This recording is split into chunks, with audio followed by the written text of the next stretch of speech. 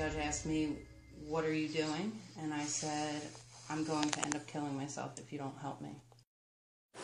Unfortunately, I've been chasing this epidemic in New Jersey of heroin abuse for over a year now.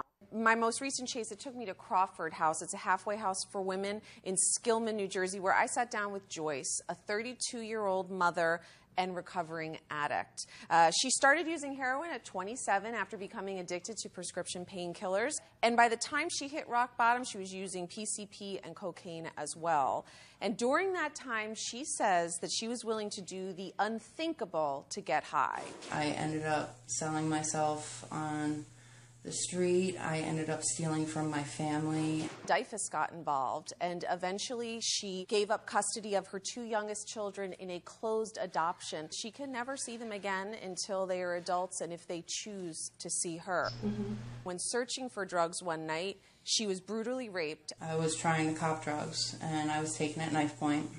Um, then, two weeks after that, I signed the adoption papers for my children, and two weeks following the adoption, uh, my best friend had, who was also caught up in addiction, had taken a gun to his head, and I watched as he killed himself.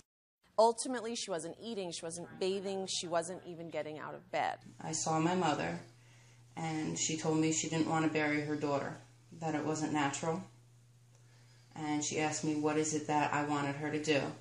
And I, I looked her in the face and I told her to just say goodbye that I wasn't worth saving at that point.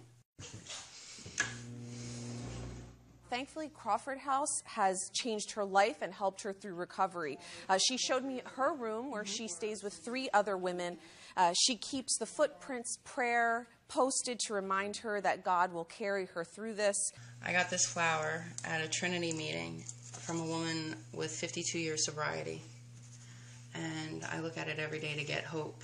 And she said that if she could speak to her two children that have been adopted, she would apologize.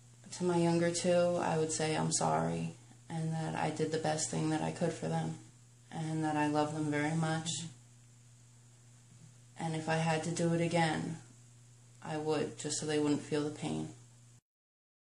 This is not a legislative problem. This is an economic problem. Here's why. The market is flooded with heroin. Reports just a day or two out of Pennsylvania that say it's cheaper to get a packet of heroin at 5 or $10 than it is a six pack of good beer. How do you battle that kind of problem? Veronica, what point is it personal responsibility? You know, at 27 years old, you'd think someone would know better than you're making this choice. Are you trading the heroin high for your kids? Right. Well, it started with that addiction to painkillers, and that's where I think the conversation needs to start with maybe less prescription of these very highly addictive painkillers that doctors can just hand out.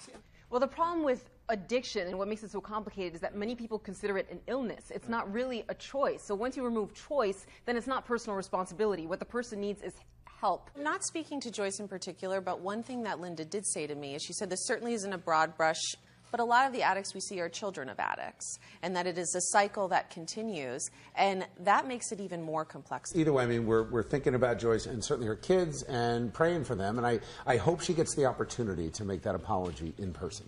Me too. Good.